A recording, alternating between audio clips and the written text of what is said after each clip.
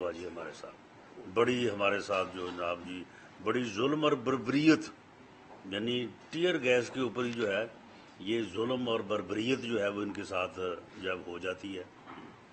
इन्हें मालूम ही नहीं है कि सियासी जदोजहद में जो है वो यहाँ पे लोगों ने किस किस्म की जो है वो मुश्किल का सामना किया है।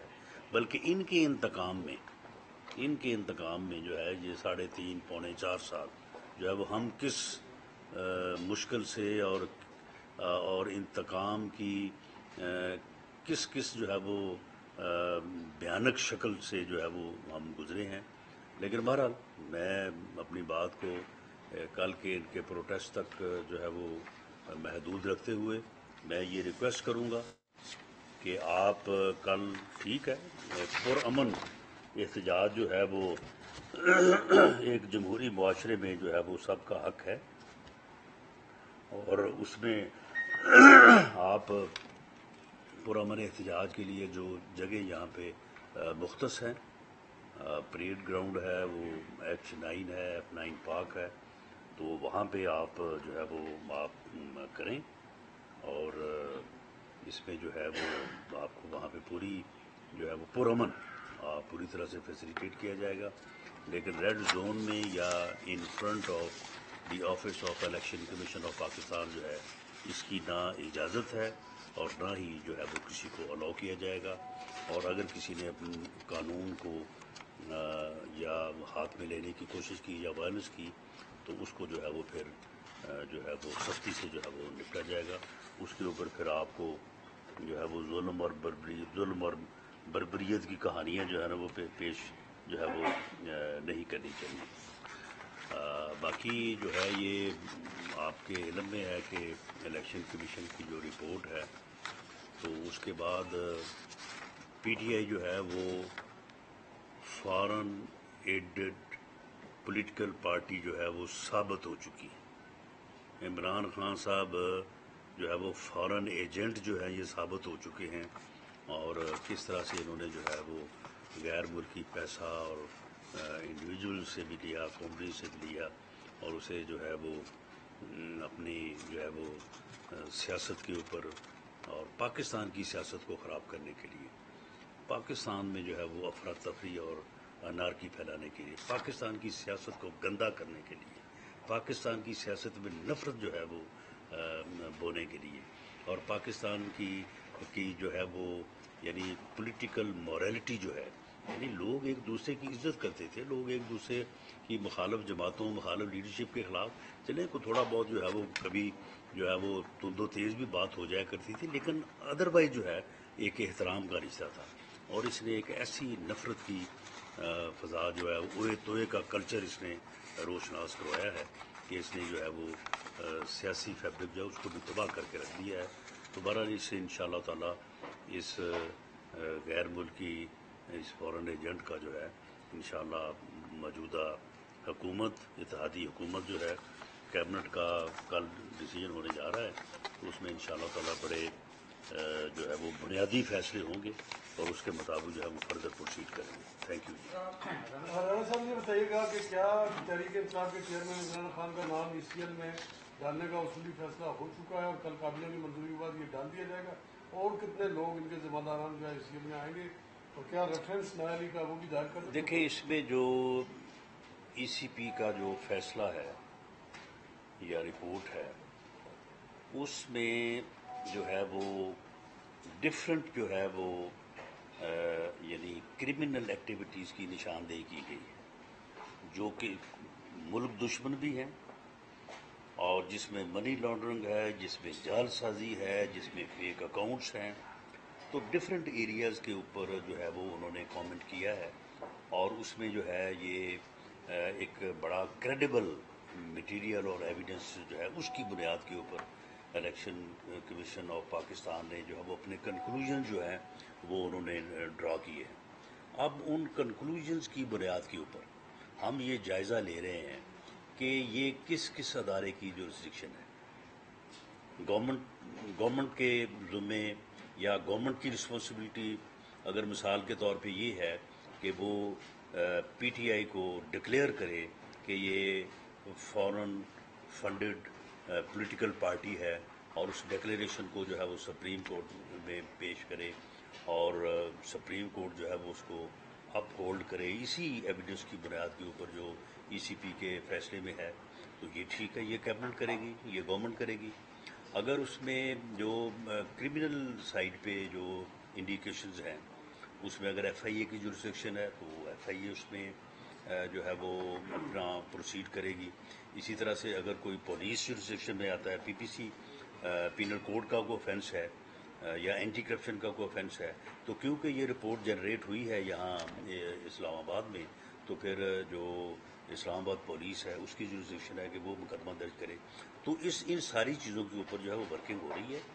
इसमें कोई ऐसी जल्दबाजी नहीं है कि हम फौरी तौर पे कहें कि जी आज ही शाम को या कल के इजलास में ही जो है वो सारा जो है वो नतीजा जो है वो निकाला और उसको जो है वो पेश किया जाए। इसके ऊपर जो रेकोजिट टाइम है, वो लिया जाएगा ताकि हर चीज़ जो है वो आइन और कानून के दायरे में सोच समझ के की जाए ताकि उसका कोई जो है वो फिर यानी जो है ना वो फिर इम्पैक्ट अदरवाइज़ ना हो। तो इसके ऊपर जो है वो काम जारी है। तो उसमें फिर ये भी चीज़ें बाद में आएँगी कि जिन लोगों को हम इंक्वायरी में जो है वो शामिल करेंगे तो उनमें से सभी का नहीं कोई हर कोई तो को जो है वो जिन लोगों के नामों पे इन्होंने अकाउंट खुलवाए हैं वो तो गरीब लोग हैं, वो तो मस्किन, वो कहते हैं हमें तो मालूम ही नहीं है किसी बात का। ये हमसे दस्तखत करवा लेते थे और उसके बाद ये खुद ही जो है वो चलाते रहते थे। अब देखें ना कितने शर्म की बात है कि किस तरह से जो है ये जो है वो अजीब अंदाज में बातें करते वो फलाना जी पापड़ वाला जी, फलाना जी पियन है जी फलाना जी गोल गप्पे वाला। अब ये अपने गोल गप्पे वाले जो हैं, अपने चपड़ासी जो हैं, अब वो सामने उसका कोई जवाब नहीं, उसका देना अब ये जवाब। फरा गोगी का कोई जवाब नहीं है। जी?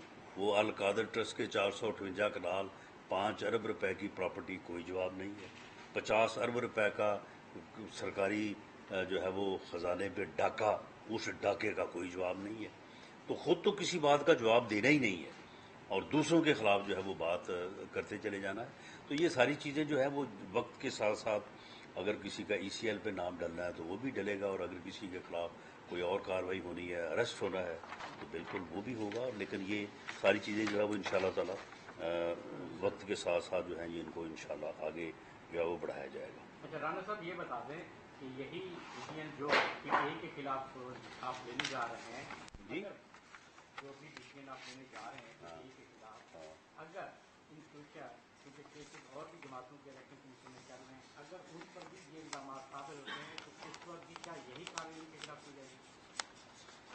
नहीं, देखिए, इसमें ये है कि ये कानून है कि अगर कोई जमात जो है वो किसी गवर्नमेंट से, किसी कंपनी से या किसी फॉरेन नेशनल इंडिविजुअल से जो है वो अगर जो है वो लेती है फंडिंग तो वो एक फॉरन एड एडेड जो है वो पॉलिटिकल पार्टी जो है वो डिक्लेयर होगी। और वो जो डिक्लेयर होगी, उसकी जो है वो ये है कि उसके खिलाफ रेफरेंस जो है वो पेश हो सकता है। तो ये तो कानून के मुताबिक अगर किसी की, जिसके खिलाफ भी होगा तो कानून जो है वो अपना रास्ता देगा। ये बताइएगा कि लाहौर में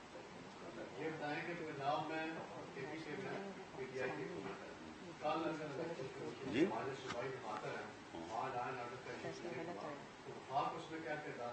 कहाँ पे कहाँ पे जी? कहाँ पे?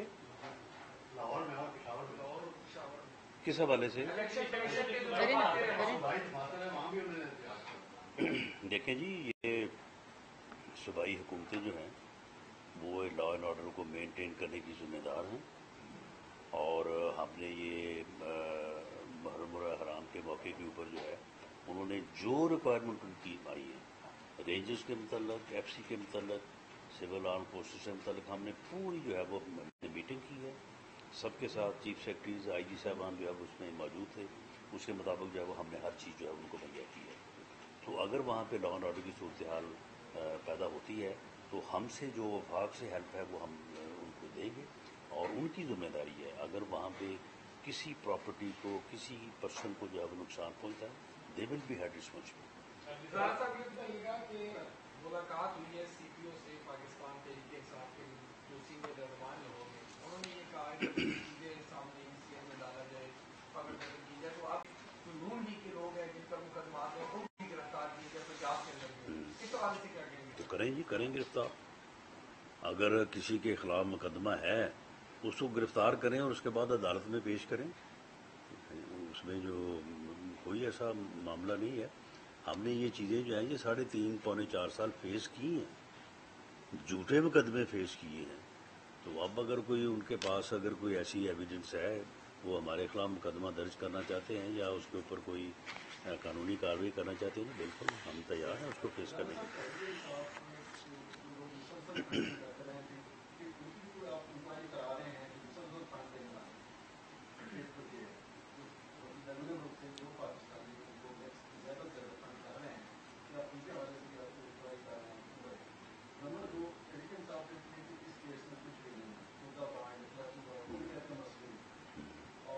नहीं तो फिर अगर चूहा निकला तो फिर ये एहतजाज किस लिए रखा हुआ है उन्होंने? ये चूहे के खिलाफ एहतजाज कर रहे हैं वो। और दूसरी बात ये है कि आ, वो उन्होंने कोशिश तो की है कि कल वो ये बयानिया इस तरह से बनाएँ कि नहीं जी ये फैसला हमारे हक में है। ये उन्होंने वैसे कल कोशिश की है। लेकिन बहरहाल फिर जैसे जैसे उसको पढ़ते गए हैं ना तो उसके बाद फिर उनकी बस हो गई है। फिर उन्होंने कहा कि नहीं, ये जो है ना, ये आप एहतजाज ही करना पड़ेगा। तो अब उन्होंने इसके ऊपर जो है वो एहतजाज रखा है, लेकिन जो चीज़ें, जिस क्रेडिबल मटेरियल और एविडेंस की बुनियाद के ऊपर जो चीज़ें इलेक्शन कमीशन ऑफ़ पाकिस्तान के फैसले में साबित हुई हैं, उससे इनकार अब मुमकिन नहीं है। ये सारी एविडेंस जो है, ये फॉरेन फंडिंग की, इसमें दरअसल ये है कि जो जो अपना जो प्रेसिडेंशियल जो है वो पॉलिटिकल ऑर्डर है 2002 उसमें भी और जो इलेक्शन एक्ट है अ, अ, ये 2017 उन दोनों में दरअसल वहाँ पे फॉरेन फंडिंग का लफ्ज़ नहीं है। फॉरेन फंडिंग की लफ्ज़ वहाँ पे लफ्ज़ है फॉरेन एडेड पॉलिटिकल पार्टी ये उससे जो है वो फवाद साहब फ़ायदा उठाते हैं। और वो कहते हैं जी फॉरेन फंडिंग का तो कहीं ज़िक्र ही नहीं है। फॉरेन फंडिंग का तो वहाँ पे कहीं ज़िक्र ही नहीं है। तो जो वो जो चैप्टर है जो रेलिवेंट सेक्शन है उसको पढ़ें तो फिर उनको समझ आ जाएगी कि अब जो है ना ये उनका मामला जो है ना ये वो फंस चुके हैं। अब इस चुंगल से उनको अ, उनको निकलने के लिए जो है वो कोई गुंजाइश नहीं है। बाकी जो इसमें हमारी लीगल रिस्पॉन्सिबिलिटीज़ हैं हम इन ताला गवर्नमेंट लेवल पे भी और जो भी किसी डिपार्टमेंट से मुतलक है, उसको हम पूरा करेंगे और इस बुनियाद पे करेंगे कि जो कानून और आइन का तकाजा है। इस बुनियाद पे नहीं करेंगे कि हमारी को उनके साथ मुखासमत है या हम अपना ज़ाती जो है वो कोई स्कोर सेटल करने के लिए जो है वो हम ऐसा करेंगे। साहब इस्लामाबाद के चारों तरफ़ के बीपी गवर्नमेंट है अगर वो एक ऑर्गेनाइज मॉब लाने में कामयाब हो जाते हैं और जिसमें उनके साथ पुलिस भी हो चुका है तो क्या वो काफ़ी हुकूमत के लिए इस तरह में कोई इंतज़ाम कर रखे हैं उनको नहीं तो पहले पहले क्या जब 25 मई को आया तो उस वक्त उनके पास जो है वो दो सूबों के, दोनों सूबों के जी, जीबी और केपीके के चीफ मिनिस्टर उनके साथ थे, पुलिस उनके साथ थी, ऑर्गेनाइज्ड जो है वो मॉब उनके साथ था, मसल्ला जथा था। खुद वो कहते रहे कि जी मेरे लोग जो है वो मसल्ला थे तो मसल्ला जथे के साथ उन्होंने चढ़ाई की थी। तो वो जब सुबह यहाँ से पसपा हुए हैं तो कितनी तादाद थी? आठ हज़ार? दस हज़ार? तो अब अगर सात पंजाब शामिल हो गए तो चले पंद्रह सोलह हज़ार हो जाएगी। यही है ना। तो इन ताला अगर उन्होंने कोई इस किस्म की एडवेंचर किया तो उसको पूरी ताकत से साथ जो है वो निपटेंगे भी और इनको सॉर्ट आउट करेंगे इन कल भी मैं ये कह रहा हूँ बिल्कुल कि कल वो रेड जोन में ना दाखिल होने की कोशिश करें और ना ही वो ईसीपी ऑफ़िस के फ्रंट पे आके जो है वो एहतजाज करने की जो है वो जो है वो जसारत करें। उसके बाद रेड जोन के बाद जो है हमने दो एरियाज़ उनको मुख्त कर दिए हैं। वहाँ पे वो अपना एहतजाज रजिस्टर कराएँ। पुरमन एहतजाज उनका हक है। हम बिल्कुल उनको जो है वो फैसिलिटेट करेंगे। लेकिन अगर वो वायलेंस करेंगे, अगर वो वायलेंस करेंगे तो फिर जो है वो सॉर्ट आउट किया जाएगा। ये एच एच नाइन